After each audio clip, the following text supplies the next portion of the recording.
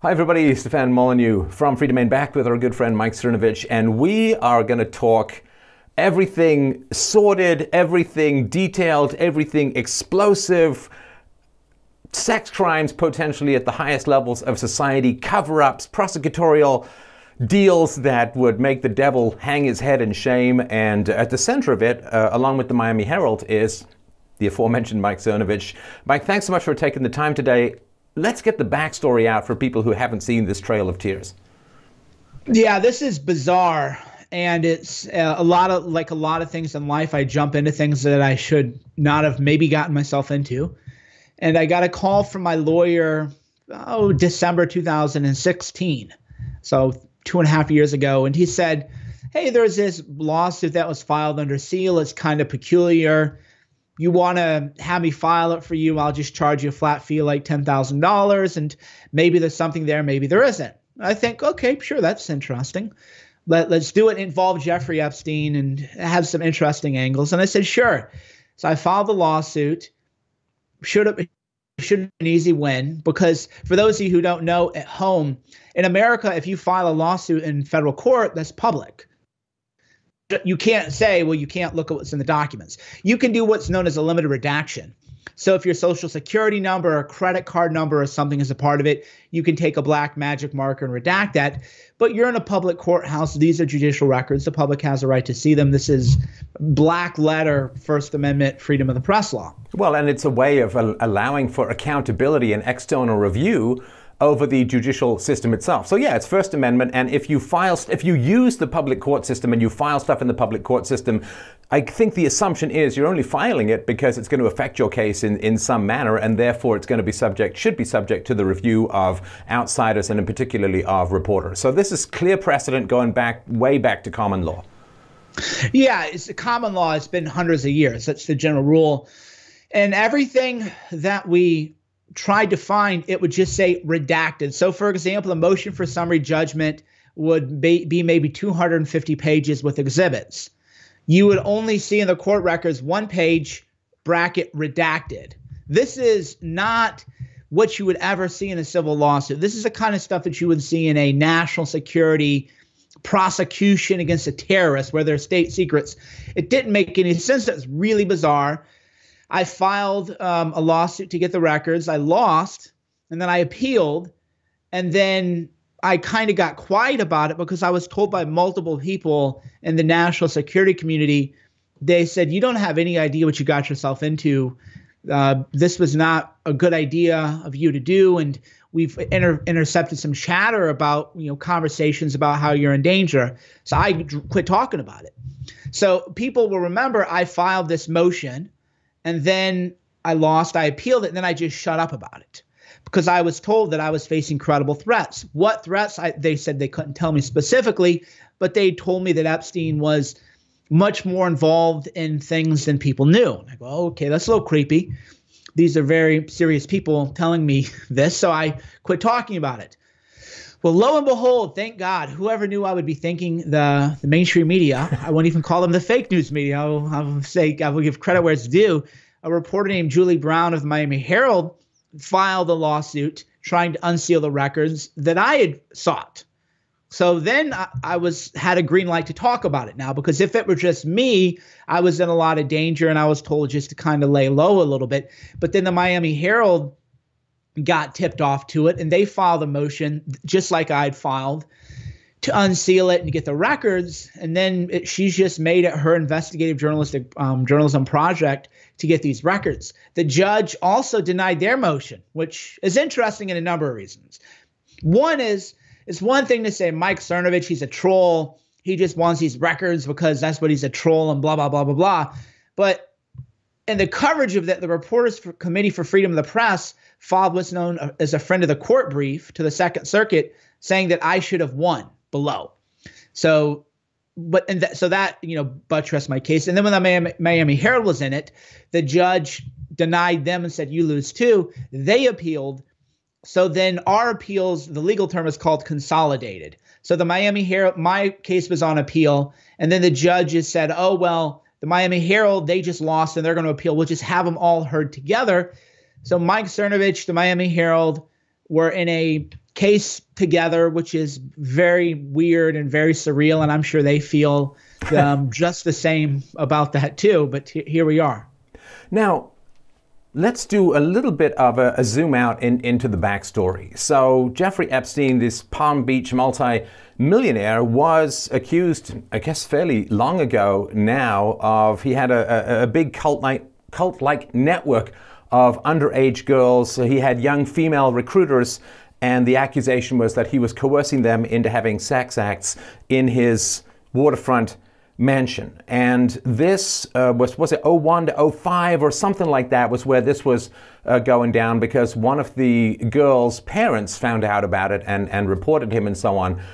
And it looked like, you know, from sort of any objective standpoint, they had dozens and dozens of girls, all with the same story. It wasn't just, you know, he said, she said, one person in a closed room. They had descriptions of the house, descriptions of his genitalia. They had the whole thing and it seems like they kind of had him dead to rights, and there was a whole trafficking investigation going on at the federal level. And then, and then, and then, there just seemed to be this big, massive intervention. And we're going to talk about why, but how did it play out in terms of the prosecution? Okay, and, and I'm glad you zoomed out because you're right. This is utterly bizarre. I'm, I, whenever we talk, I always try to think in terms of what if I were listening and then as we're talking, I think of, well, what if the listener doesn't know what this means or that means? And I, you do the same. And I think that's why people are enjoying our conversations, at least when they think I'm on my phone. Uh, kind of a segue. I, I remember people uploaded a video of us on a panel and I was on my phone and all the comments are saying how rude I am. but I was talking to NYPD about Antifa, like trying to kill people. Yeah. So it's, it's always I, interesting. I, I pointed that out number, a number of times to people who were watching the video. Like, yeah, he's, yeah. he's trying to get people not killed by people out outside right. threatening bullets. Yeah, so I always thought that was funny. But uh, that digression as it is, uh, I'm thinking terms of right. This, the, so the Epstein thing, he was known to have this kind of. At first, it was thought of as like a party island. Hey, he's a rich guy. He's a financier. By the way, nobody knows how he got rich or can explain how he got rich, and we can talk about that maybe a little bit later on the podcast. But there's a. It was actually a listener of yours, I, who of who found me from your show and I was talking and they said, "Oh yeah, we actually they told me this 2 or 3 years ago. They said, "We actually were neighbors with Epstein and then he sold this building for like 10 times what it was worth and everybody in his peer group said they can't understand how he got rich." Hmm. So there are so many layers to this Epstein case that it is like True Detective, where people are saying that nobody knows how he got rich. They can't explain it. He claims he had a family office, but it was kind of like Madoff. Nobody knew his trades. Like, how was this guy? I, I think he might be a billionaire. I mean, he's very, very, very wealthy. Could be a billionaire. It never made sense. So literally, people who watched us together grew up around him and that was always the chatter amongst the 10 or 20 million dollar class which is hey you know epstein should be a 10 or 20 million heir like us. How in the heck did he end up with hundreds of millions or maybe a billion? And then they looked into deals that didn't make sense. So i was having lunch lunch with a very very well connected guy and we were hanging out and it was a very free flowing ask me anything kind of conversation. And then i said hey man this is kind of out of the blue, but I was told that Jeffrey Epstein did some like real estate deal and nobody really knows what that means and what what is that? And the, the person got very silent and said, Well, Michael, in this town we've learned there are some things that you just shouldn't ask. And that ah, so the free flowing discussion kind of hit a, a dam of concern. Yeah. Right, right. Yeah. So whatever it is, I, and that's the thing. I don't know what it is, but everybody's kind of had that question like, how did he actually make his money? It doesn't make any sense. Now, the reason I bring that up is because what I'm about to say sounds really insane and it sounds like a conspiracy theory, but the, the theory goes that, that Epstein got the deal that he got because he was running a major blackmail operation at his party island. So he would fly people down. There were cameras everywhere. He would film royalty, former presidents, you name it, in all kinds of acts, some of whom with girls maybe 15, 16 younger. It, it wasn't ascertained exactly how young some of these people are. Julie Brown's report in the Miami Herald did indicate that there were 14 year olds. So it wasn't, you know, she was 17 years and nine months kind of deal. We're, you know, we're talking eighth grade freshman in high school sort well, of. Also, just to point out that in Florida, not knowing how old the underage girl is is not a defense, as far as I understand it. So uh, it, it, doesn't matter. Oh, she looked, you know, Randall Patrick McMurphy style. She looked 18. It doesn't matter. Yeah, statutory rape is what's known as a strict liability defense, so or uh, offense. So, um, and if an underage girl gives you an ID and it says she's 21 and she looks 25 and she's 16 and the age of consent is 18, sorry for you, it doesn't matter. There's literally no defense. It's strict liability. It doesn't matter if you took every precaution possible. So they would all go party at Jeffrey Epstein's place. And as I looked more and more into the case, I saw things that I did not believe. People would send me things and I'm super paranoid after I got framed for the whole P-gate thing, right? So I'm like, actually, anytime I get anything that looks a little weird, I'm like, look, you guys aren't gonna claim that I'm saying something I'm not. But I found drone footage of his island, and there was some weird like temple thing. And again, it looks. I've seen a picture of that. Yeah, it's yeah. a little freaky. So I went back and I go, this can't be real. This can't be real. And then I saw the date on the website was a drone footage thing. And this is before Epstein was like a big deal. So it was more like, oh, we flew our drone. Look at this building we saw on this island in the Virgin Islands or whatever. And it looked like there was like a subterranean thing to it. Nobody really. So the whole thing is weird. That's that's why I'm bringing this up. It really does feel like some true detective kind of stuff. And any angle you look at, it's weird. How did he get all this money?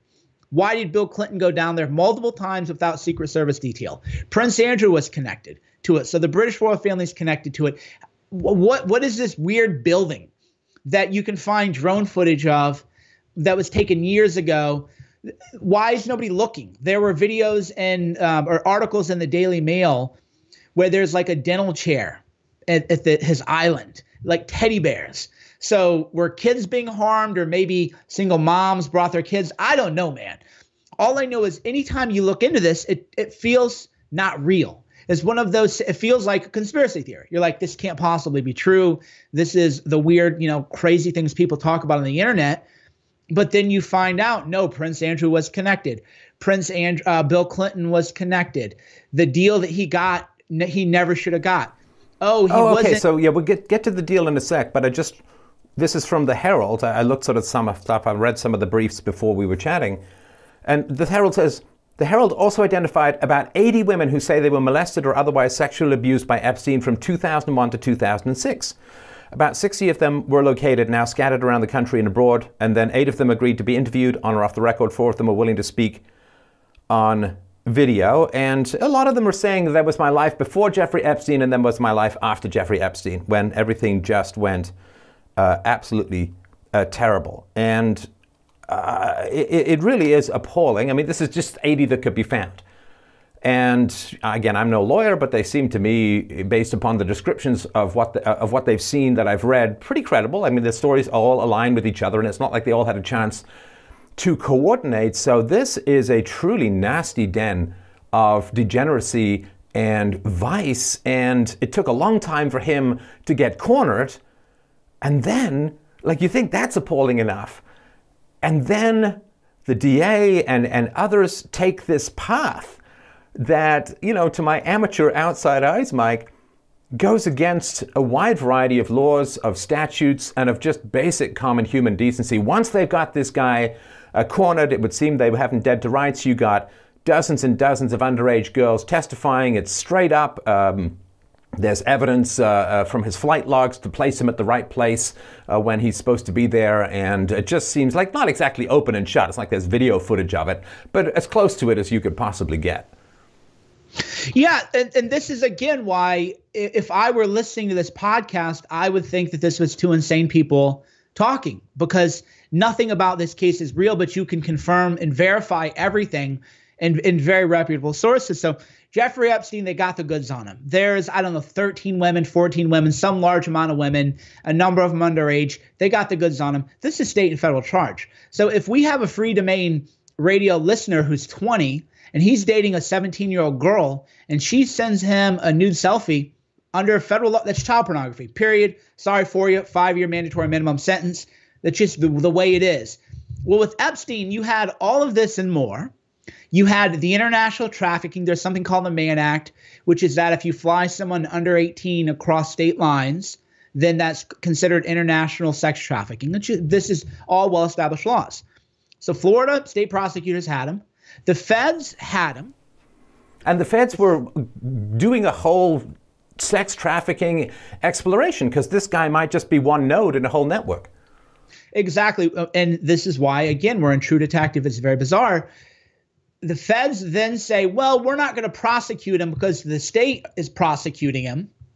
But the state sentenced him to jail, but he got to leave jail six out of seven days a week to go to work, to go to his office. All right. So, so yeah, would, so let's um, let's have a look at this. So there was uh, this again from the uh, Miami Herald. I'll put the links below. Despite substantial physical evidence and multiple witnesses backing up the girl's stories, the secret deal allowed Epstein to enter guilty pleas to two felony prostitution charges. Epstein admitted to committing only one offense against one underage girl who was labeled a prostitute, even though she was 14, which is well under the age of consent, 18, in Florida. Now, I just really want people to understand this. There is no such thing as a child prostitute a, a prostitute is somebody who's of age. If you are underage, you can't be called a prostitute. It's child sex trafficking. It's a whole different thing. But she was called a prostitute, as far as I understand it, in this plea deal. And uh, and moreover, and moreover, because that's what I mean. The the layers you peel back. Um, if you is called victims' rights statutes. Yeah, yeah. So yeah. if if you're accused of harming a child or an underage girl, or even uh, if it's a date rape situation, under the law, you have to, the prosecutors have to come to the victim and say, hey, we're about to negotiate this deal with the accused assailant. And here's the deal. If you don't like the deal, you have a right to tell the judge. But ultimately, prosecutors have final authority. And and they, you get to show up to the actual sentencing and, and yeah. be there and hopefully get your case in or something and they hid it. They didn't tell the women. Right. They hid they hid that from them. Complete complete violation of prosecutorial norms, violation of the law. Literally, it was lawless, and, and it goes against everything you're trained to do as a prosecutor. It became this like top secret thing. And then, meanwhile, not only that, but then the federal charges were dismissed. And then he's sentenced to jail, but he doesn't really spend his time in jail like everyone else. He's able to leave and banter about all day, and he just comes in and spends the night in jail. It's, it's again unfathomable. It's, it's incomprehensible. Well, and as we all know, convicted sex offenders have a pretty rough time of it in prison. Again, this from the Miami Herald. Epstein didn't face any kind of rough justice. Right? Instead of being sent to state prison, Epstein was housed in a private wing of the Palm Beach County Jail. Boy, if that's not an aptly named club fed, I don't know what is. And he says, uh, uh, they go on to say, and rather than having him sit in a cell most of the day, the Palm Beach County Sheriff's Office allowed Epstein work release privileges, which enabled him to leave the jail six days a week for 12 hours a day to go to a comfortable office that Epstein had set up in West Palm Beach. This was granted despite explicit Sheriff's Department rules stating that sex offenders don't qualify for work release. Well, of course they don't qualify for work release. They're sex offenders. Yeah. Right. So anytime you look at this case, you're you're seeing things that just don't add up. You're seeing things that are lawless. And that's been the MO of everything involved. And not to fast forward too far, but uh, you know, Julie Brown, her Twitter account, she made a good point about all this. And she didn't quite phrase it this way, but I did, which is the where are the Republicans and the Democrats rushing to that microphone to talk about this hor- horrific deal that Epstein got. This is red meat. You want to talk about a rush to the microphone? No Democrat, no Republican in Florida is out there demanding answers. And what what people don't want to say, but what I believe is Epstein, I think, has information on everybody. He was mm. running a blackmail operation. Every Democrat, every Republican in, in political office in Florida, either they're implicated or else somebody they know is. Otherwise, again, this is easy. P- you want to talk about like easy PR wins? Hey, this is it. You know, where's the press conference with Marco Rubio, right? Let's get let's get with the Dade County Sheriff and let's bring everybody in. Hold the pro- can't believe this happened. Miscarriage of justice. No, no, and you no, get to stand good. with the victims in the Me Too right. movement. Like, where are these girls, these children?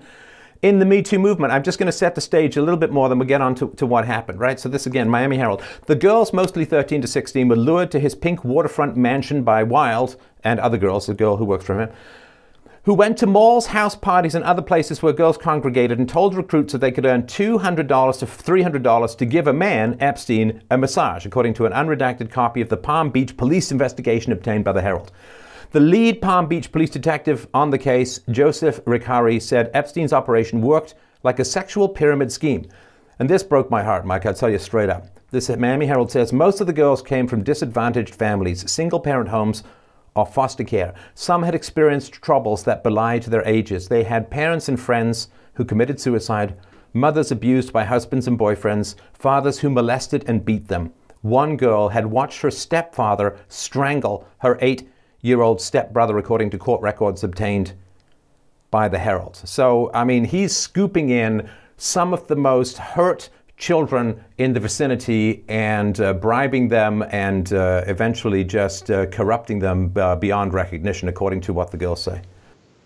Yeah, and this is broadly speaking too why, if you believe in broken homes, I this is my belief that uh, there's a big movement among people on the left to destroy the nuclear family because that creates an entire class of vulnerable victims. Well, yeah, the statistics are very clear on this that if you uh, come from a home with a single mother, you're over 30 times more likely to be abused. Why? Because there are all these low rent, trashy guys moving through the uh, the uh, usually low rent apartment uh, with easy access to children. You know, like you're a dad, I'm a dad. We're not having a bunch of guys sleeping over at our house with our kids around. It's not happening. But if you're a single mom, it happens with depressing regularity. Well, and that and so if you want to destroy families, then you do you create an entire class of vulnerable people. Yeah. And that's why a lot of what's happening in society makes a lot of sense if you just realize if you look at what happened with Epstein, this is just pure evil. This is yeah. uh, whether you call it demonic or whatever you know religion people have or whatever, however you just describe evil. This is evil. This isn't a, a bad joke on Twitter. This isn't a, a podcast gone amok. He, he didn't misgender someone.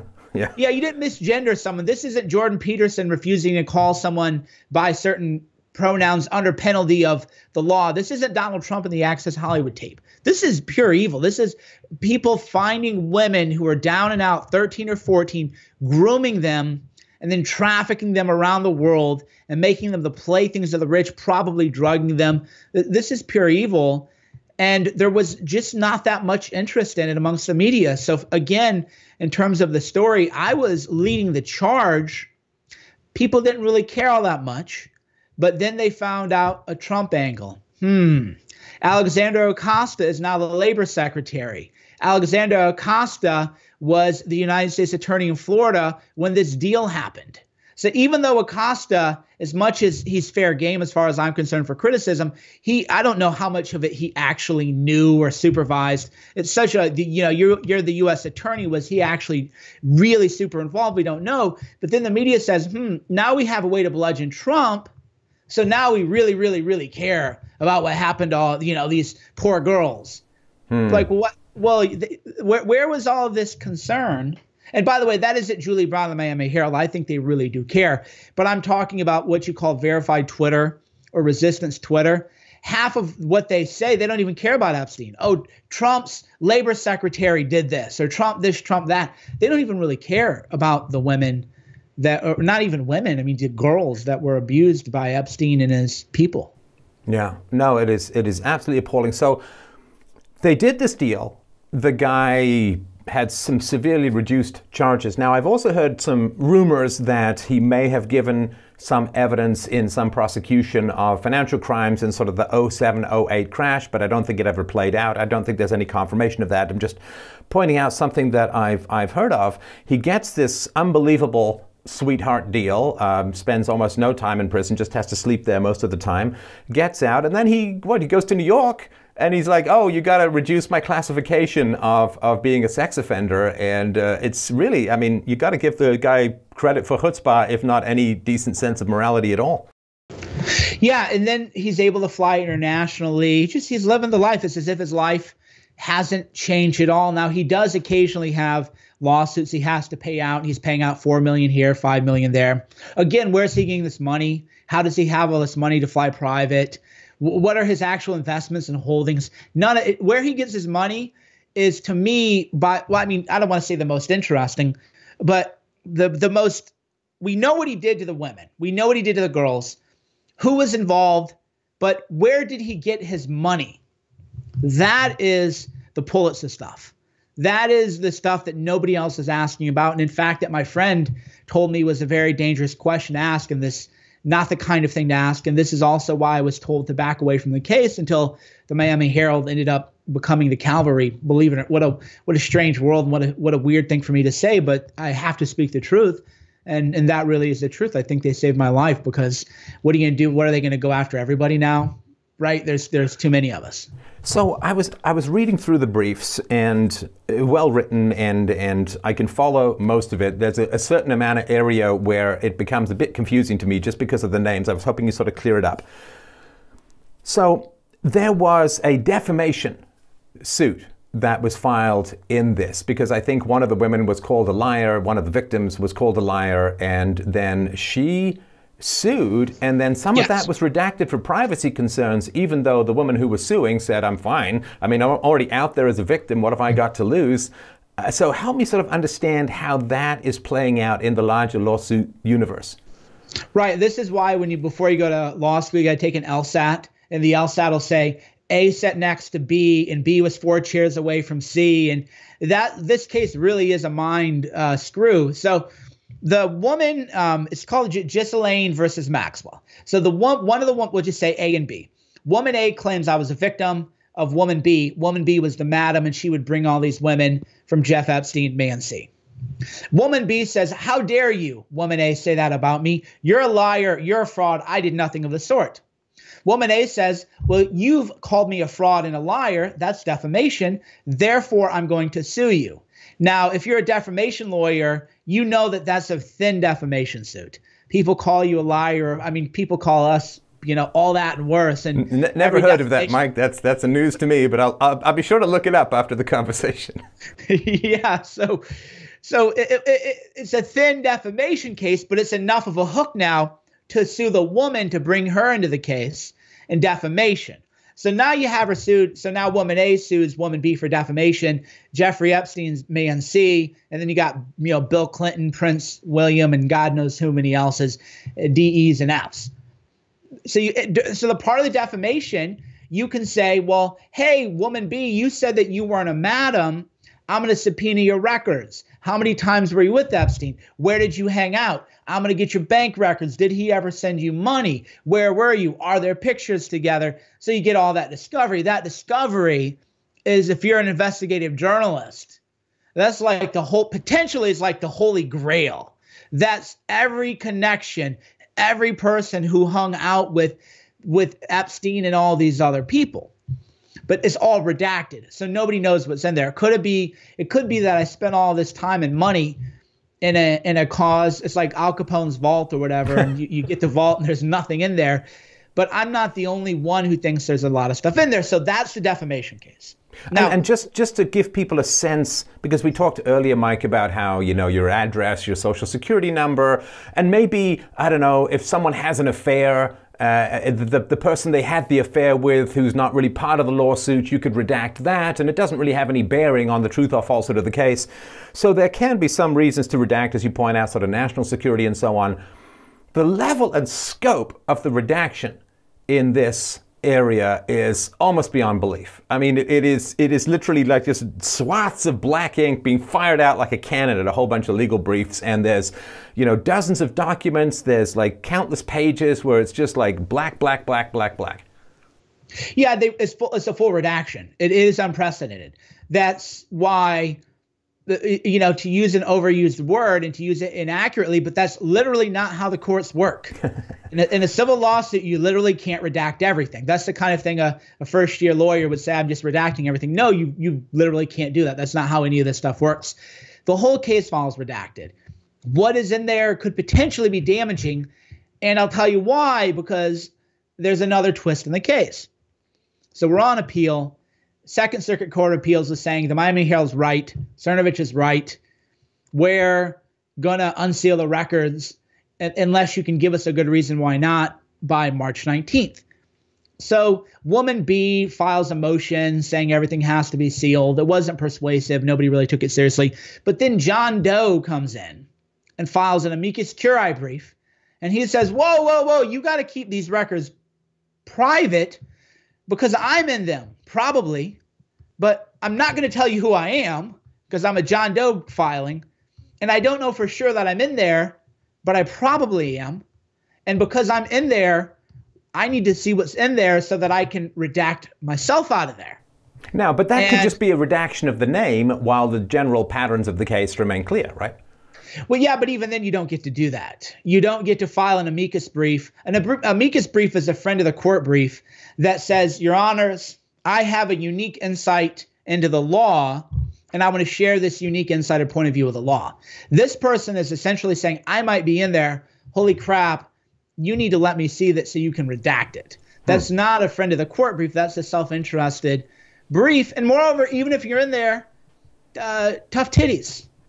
You're wait. So what? You're I, am going to need that legal argument in the original Latin, Mike. But yeah, tough right. titties, right?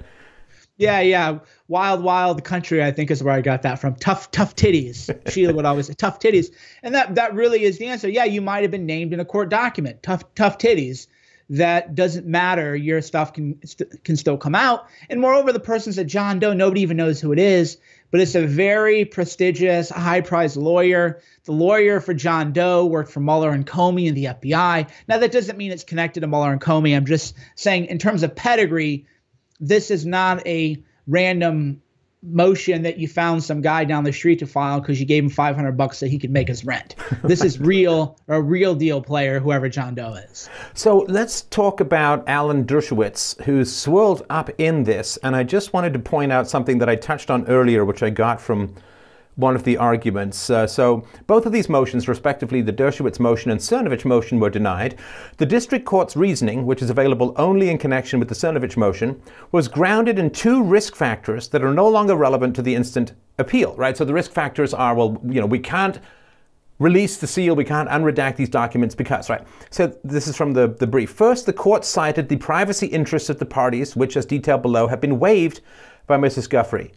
And even if Mrs. Uh, Ms. Giuffre had not waived her privacy interests, such interests are not sufficient to overcome the public right of access. Second, the district court reasoned that premature release of sensitive information could taint the jury pool in the upcoming trial. Ah, the famous taint the jury pool. I've heard that one a million times before. Right. So yeah, but the right. risk, the, the, the right. case was settled, so there is no risk of tainting a jury pool. So what on earth? How on earth could that apply?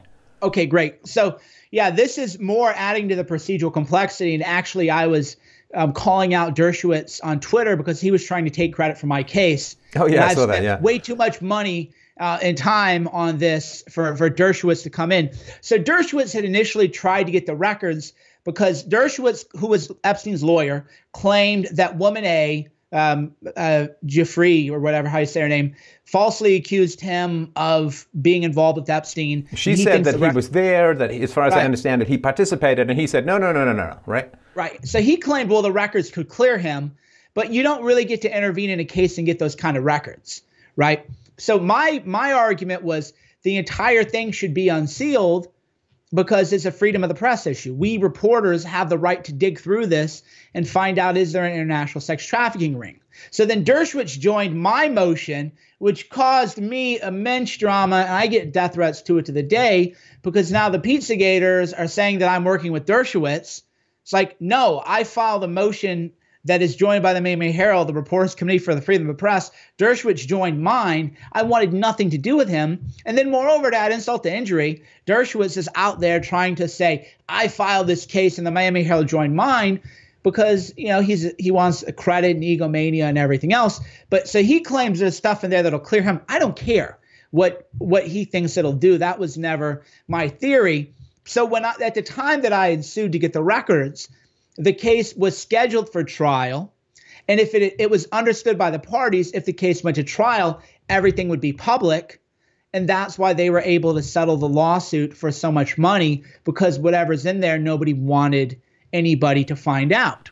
I mean, it, it, it seems so absolutely wrong, not just legally, but morally.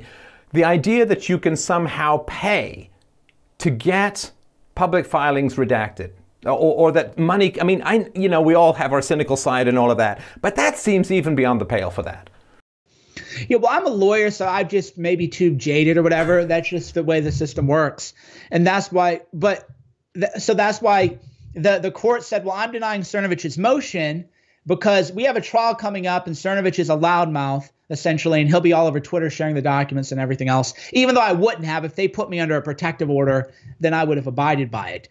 But so and so, what happened then is after after the settlement, and then after the Miami Herald came in, uh, Giuffre said. Oh no, release it. Go ahead. Just give them everything other than social security numbers and a couple sensitive details about a specific traumatic event. Give give everything over. And so the Miami Herald said, okay, well, the judge denied Cernovich's motion on the grounds that it could lead to, to pretrial publicity. And th- those are all gone. Everybody's happy. Yeah, there's, there's no need for privacy because it's been waived. The, the, right. the case has been settled, so there's no issue with the jury tainting. So release the hounds, right? Yeah, exactly. And the judge still denied the Miami, the Miami Herald's motion under the grounds that let a sleeping dog lie well, they settled the lawsuit, the lawsuit's over. That's that. No, no, no. It's, it's, this is absolutely bizarre. It, it is confounding. So the judge said, Cernovich, we're denying your motion because you know you're a loudmouth and we don't want you posting documents and leaking them to reporters and everything else before the trial. Mm. So then, so now there's because the trial is going to be public. Well, now there's no trial. So then they go, oh, well, so the Miami Herald wants them. But well, they settled the lawsuit and everybody um, agreed to keep things confidential. So we can't give you the documents because there was no trial. It's like, wait a minute. We can't give Cernovich the documents because there's going to be a trial, but we can't give the Miami Herald the documents because there was no trial. Well, and nobody has Catch the right, as far as I understand it, to say we want to keep things secret. You file in federal court or public court. I mean, the records are First Amendment and common law out there for oversight into the judiciary process, which damn well seems to need it at this point, particularly with this lawsuit or with this case as a whole. Yeah, exactly. So it's a total catch 22. Cernovich can't have the documents because we don't want him to prejudice a trial. The Miami Herald can't have the documents because there was never a trial at all. And you're left there saying, what doesn't make any sense, which is essentially what the Second Circuit Court of Appeals said was, oh, come on, you have to you have to unseal some of them. And Maxwell's argument was, no, no, no, the whole thing has to be sealed. And the court issued an order almost immediately after oral argument, which is unusual, and said basically, no, no, no, like we're gonna we're gonna unseal this stuff. And then you had this last minute legal wrangling by people coming in, including this John Doe, who we don't know who he is. I suspect it's a member of British royalty, but we don't know. We you know we don't know. But it's somebody who's been in the papers and has been verified as being connected with this lawsuit. And that's where we are, bizarro world. So again, to give the scope of the seal, this is from one of the writs. This, this order effectively withdrew judicial and public oversight from the sealing process. In total, 167 documents, almost one fifth of the docket, were placed under seal. Importantly, in addition to the wholesale sealing of certain motions, the entire body of the, depend- of the defendant appellee's motion for summary judgment, 68 pages, was redacted, and over half of the order denying defendant appellee's motion for summary judgment was redacted. So help me, I mean, I understand what a summary judgment is, but help me understand why that is so uh, crucial. Again, uh, so a motion for summary judgment is your best legal arguments that you file with the judge. And you so you'll you'll say there's a bunch of facts here and then there's a bunch of law and then the judge reads the motions and decides whether or not you're going to go to trial or not. It's uh, it's a judicial record. It's a public record. Nobody knows what's in there though. No, nobody knows what's in there. That's again why everything is so literally confusing. I'm a lawyer. I've litigated cases. I've filed some, you know, written God knows how many motions for summary judgment. And even when I think about this case, I'm just thinking I'm I must be missing something. It can't be the case. Like everything with this Epstein case is it can't be the case that the entire thing was redacted. Sure, but it was. It can't be the case that the feds declined to charge him even though they had him. Well, it was. It can't be the case that he was let out of jail every day as a sex offender in Dade County. Well, it is. It can't be the case that every politician in Florida isn't rushing to take the stage for the greatest Me Too press conference moment in Florida history. But but that is the case. That's literally every time you think about this is what should be the case. It's the opposite of what what actually is. Right. The Miami Herald did make a comparison between this issue with Epstein and the Catholic priest scandal that has been ongoing, of course, for, for decades. And here's a quote from someone The real crime with the Catholic priests was the way they covered it up and shielded the priests. The orchestration of power by men only is protected as long as everybody agrees to keep it secret. This is a story the world needs to hear. So, this is expensive, it's time consuming, it's stressful, it's difficult, it's, it can be very annoying.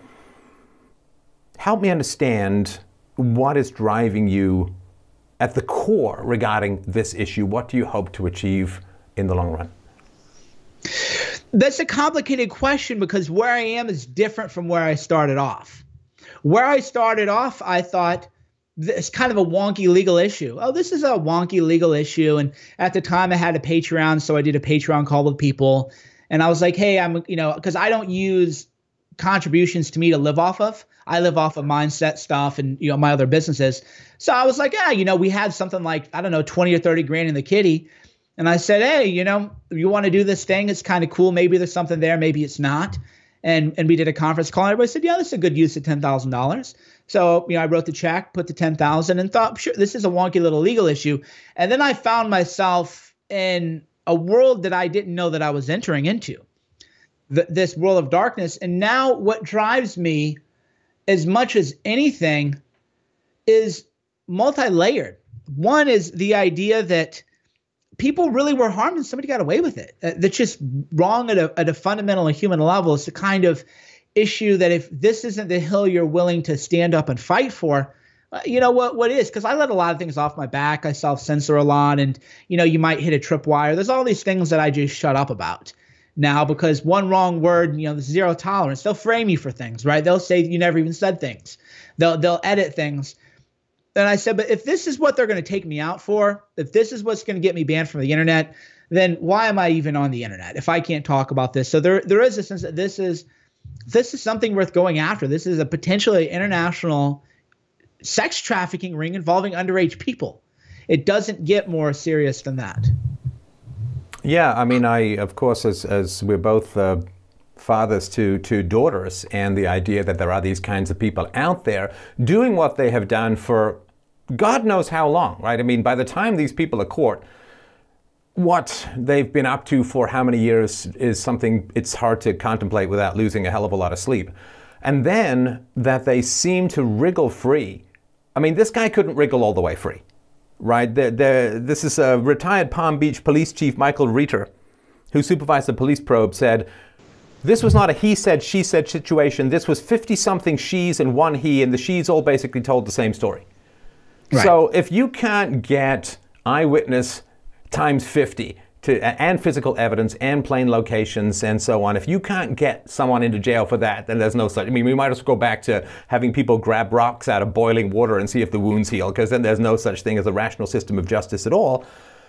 And the so he had to he had to go down for something, but to go down in a way that further traumatized and abused a child by calling her a prostitute and uh, giving him all of these kinds of perks and, and so on. And, and now he can travel and he's enjoying his wealth. And I mean, it really is appalling. It's, you know, it's one thing with, with Hillary Clinton and how she seemed to kind of skate from, from a net that was seemed to be kind of objectively or rationally closing in around her. And you know, I get that that national security is a big deal and people's lives are at risk. I get all of that, and it, you know, but but here we've got children being scooped up in a sense off the streets, being being bribed, being compromised, being corrupted. Some of them even being physically hurt, according to some of them, that the, the activities would leave them sore for days, which is just absolutely appalling at any level. But with children, it, it just turns my stomach in a way that I, I can't even really express. And, and this fear that we all have that if you're rich and powerful and connected and you got the goods on people, you just live in a different legal universe. Like we all get the Democrat, Republican, like Dems don't invite, uh, sorry, Democrats don't uh, indict Democrats, and you know if you want to get away with bad stuff, just be on the left. But this, even still, is is a whole other level. And you know what chills me, Mike, is that I wonder if there aren't levels even above this. You know, where where okay, this guy's relatively low hanging fruit compared to who, and I bet you the other level, the level above this, two levels, five levels, ten levels above this in terms of lack of accountability and just do what you want, I bet you those people are in those redactions. Yeah, and, and again, you a lot of points you touch on is one. I, I really made my audience mad when I said this two years ago. I never cared about Hillary Clinton's email server, other than in a very intellectual level, it's a double standard, and we all appreciate double standards. But there was no visceral lock her up moment. She had the server. I'm like, ah, she's a scumbag, you know, wh- whatever. I just never really cared. But this is children. This is a whole a whole different level of emotion, and then intellectually, it's fascinating. I mean, you've been. It's like a puzzle. Like, wait a minute, you're you're p- connecting dots, but you're actually not the crazy person with the thumbtacks on the board and the strings. Like, no, these are all, you're not connecting weird dots. This is all real true. It is this puzzle. So, who, how did Epstein make his money? Who was he working for? Was he working with? Was he an informant of some kind? W- was he involved in intelligence operations and blackmail operations? What was really, it's fascinating. So it, and, eh, and, eh, how uh, far do these tendrils of power go? If this guy's got the goods, as, as you sort of talked about, the sort of theoretical ball of string you can bat around, saying he's got cameras everywhere, and maybe he introduces some girl who looks older, and then he sits down afterwards and says, Oh, here's the tape of you having sex with a girl who's underage, for which there is no defense in Florida law.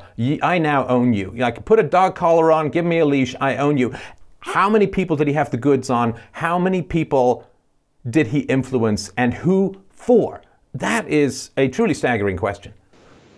Right, and and that's why you can't uh, we can't stop. We can't give up. That's another reason why I'm in it. There's there's still too many unanswered questions.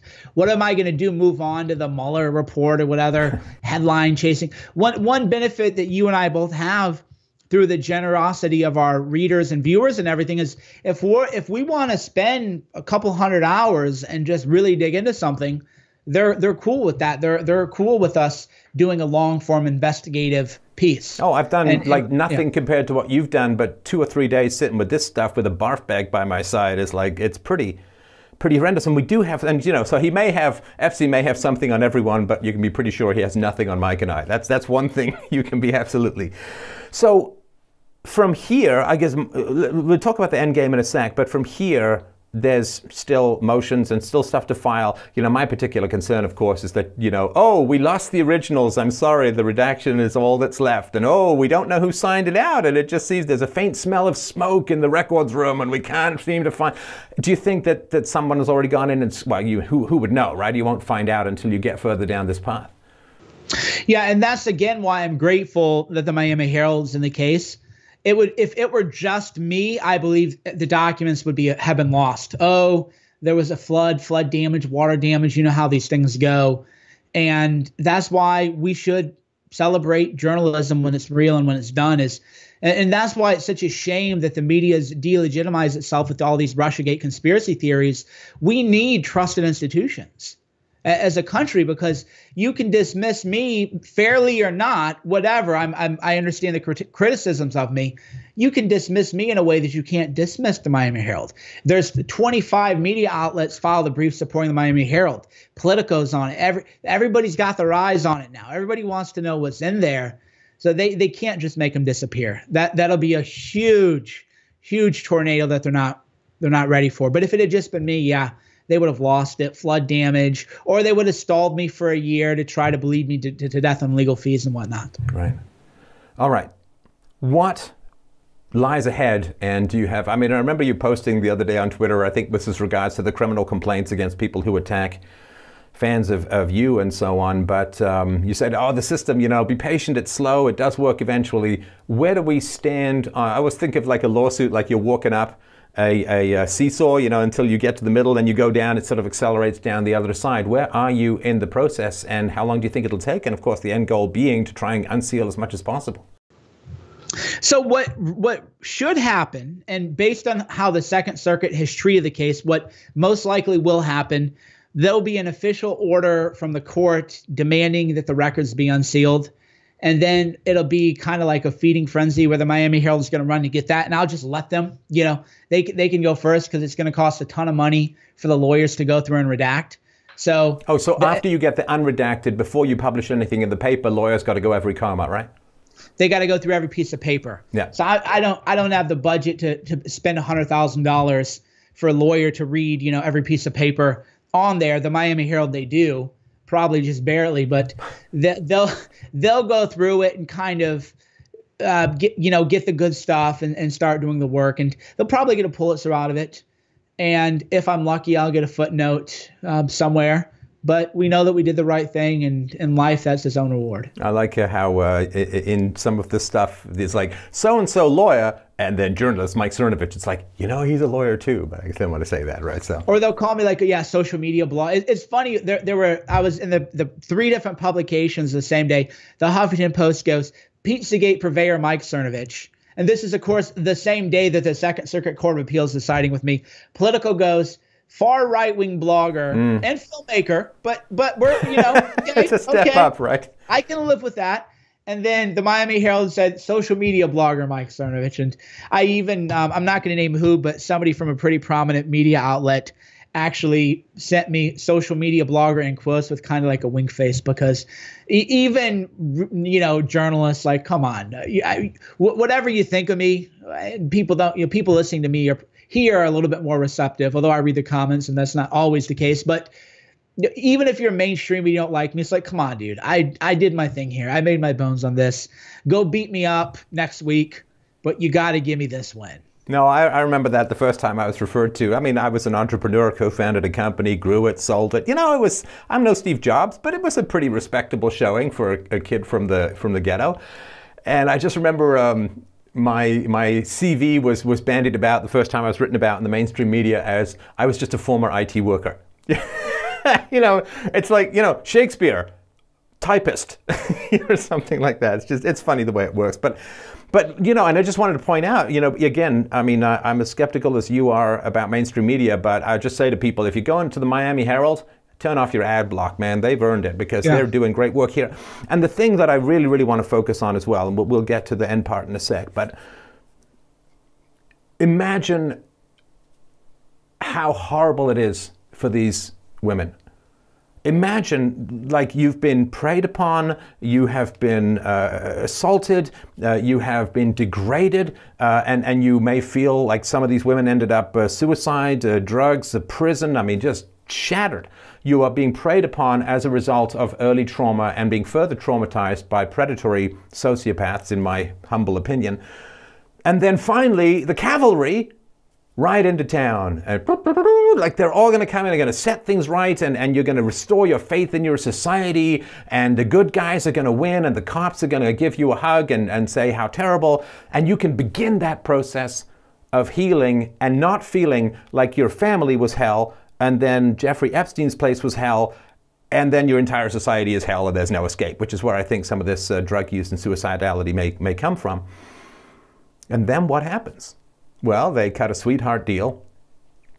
They don't consult you as they're supposed to. They don't give you the chance to respond as they're supposed to. And they don't even tell you when the sentencing's going on so you can show up and, and have your say.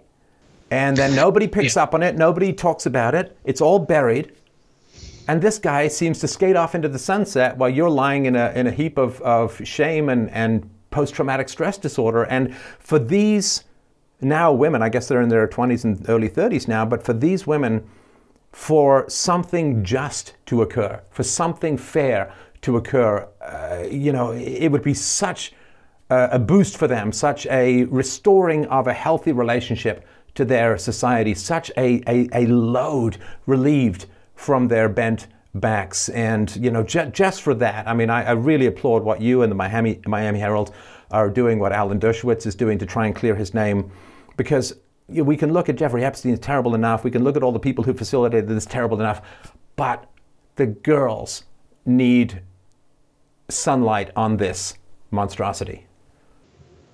Yeah, they do. And, and adding to the story arc is it shows just anybody listening can try to make a difference, right? I was and I was the first one really pounding away at this case and that's up to all of us um, as moral agents in this society is don't wait for someone else to, to do it you have legally obviously you know because they're so they twist everything we say but yeah, we, we all have to do everything within our legal and ethical limits to to make change in this world. Right. How can people help out what you're doing, Mike? They can go to cernovich.com forward slash EPSTEIN, cernovich.com forward slash Epstein. Look at all the filings, kick in five. It ended up getting really expensive. It was not, it was supposed to be just a $10,000 thing.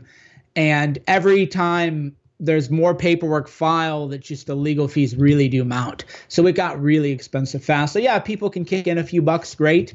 Um, if not, share the links. You, you know, share this video, share the articles, get the word out. Don't let the media write me out of this story. Don't let people lie about me and, and my involvement in it. The number of ways to do it and sound the alarm, get people excited and get people interested and let people know what's going on. I can't let you go without having you mention your book because a lot of people are kind of confused at how you get the strength of will and character uh, to to do what you're doing against such significant odds. So give people a bit of a taste of, of how they can um, replicate and, and even expand on some of what you do. Well, sure. I always told people because I wrote Gorilla Mindset, which I think is how you found me many, many years ago. There's all these people who believe that I just came from out of nowhere and was like a Trump guy. I'm like, no, no, no. There's a like, there's a whole. My life is actually better when it was only Gorilla Mindset. Before I was in this, you know, deep world of swamps with the, the monsters and everyone. But uh, I wrote a great book on mindset, and then I just showed people the principles apply to anything. You feel a little down now, you feel a little depressed, you feel a little insecure. Boom, you got it. You have deep issues that you're not working on in therapy, or maybe not helping you. I think you even said that it was better than 10 years of therapy or something like that for Gorilla Mindset, or somebody said it's, that. It's a good book to read. For, I mean, I certainly recommend reading it. I've never done 10 years of therapy, so I can't really compare it, but it's, it's a great book, and I really, really do recommend that people. It's an easy read, uh, it's, it's a fun read, and it's a powerful read. Yeah, and, and you can apply the principles to everything. It's just about where you want to lever up in your life. So if you're you want to, you know, somehow you find yourself in where I am, which is just a really bizarre place, the principles are still the same. Are you are you being mindful? Are you being present? Are you being aware of your emotions? How you feel? Checking in. Uh, was there underlying stress that you're not aware of? Are you taking care of your body? I noticed I gained a lot of weight because I was not, you know, eating the proper diet. So. Oh, and when you're on the road, you basically just everybody turns into Jabba the Hutt. It's hard to exercise, and it's a lot. It's pretty easy to eat some some decent meals.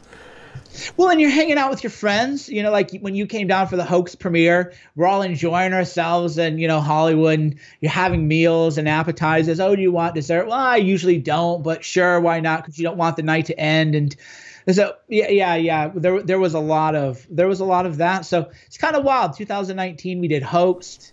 Hoaxedmovie.com. And, and, and how is that? Uh, I was talking to John the other day. Uh, he says it's doing really well and and uh, I just I mean it's a great movie. People should just go and check it out. Hoaxed, uh, everything you need to know about the fake news, and in order to stay alert in an increasingly deceptive world. Yeah, and you're in it. That's done. Wait, we're at 104 countries now already. It's done. Actually, I knew it'd do well, but it's doing about three times better than I thought it would, and I think it's actually going to go up because we haven't even got the, you know, you gave it a great shout out. Thank you. And Scott Adams did. We still haven't gotten the big shout outs from Don Jr. yet and, and the media thing. And poor Jordan Peterson, he's in the movie, but he sat for the film before he became who he is now. So I'm at, you know, he, when he was in Hoaxed, I was bigger than he was at the time. So he was like thrilled. Oh, I'll be in Cernovich's movie for sure, right? He was really on the upswing. And now, you know, he's Jordan Peterson. It's a different thing. But I know the movie's great because, and, this is kind of a meta commentary and hoaxed is, I thought for sure the vultures would have circled Peterson and said, "How could you have been in a movie with Cernovich?" He's such an evil guy. Molyneux's in it. Look at these. The, but the movie is so good they don't even want to make. They don't even want to point people at it. Yeah, yeah, yeah. they don't. That's and, and you guys should be very, very proud of that. Well, listen, thanks a lot for your time. I, I have been following this, and I, am really glad to get a more detailed and, and at the same time bigger picture view of this very, very important work. Uh, Cernovich.com, Gorilla Mindset, and HoaxedMovie.com to check out Mike's really, really great film. I really, really appreciate uh, this update, and I hope you'll come back when the next development occurs. My pleasure. Thank you.